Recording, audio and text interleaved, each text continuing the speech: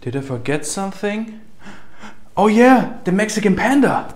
I don't know if you know, but there's a panda in Mexico City Zoo. So far, so normal. But it is one of only three pandas that don't belong to China. Xinxin is now 33 years old and the last panda in Latin America. China has a well-known tactic, panda diplomacy, gifting a panda to nations they have friendly relations with. The first time was probably in the 7th century when Empress Wu Zetian gifted two pandas to Japan. China ended this tradition in 1984. So now zoos have to pay a yearly rental fee of $1 million for one panda. Oh yeah, the other two pandas come in a pair and are home to Taiwan and were gifted in 2008. But old lady Xinxin is exempted from this newer ruling because she was born of two pandas that China gifted Mexico before the policy change. She became a forgotten panda.